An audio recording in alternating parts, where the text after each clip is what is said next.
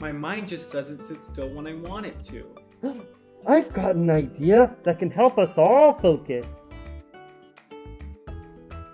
Whenever I feel my puppy mind tugging at my sleeve, we have to remember to Breathe!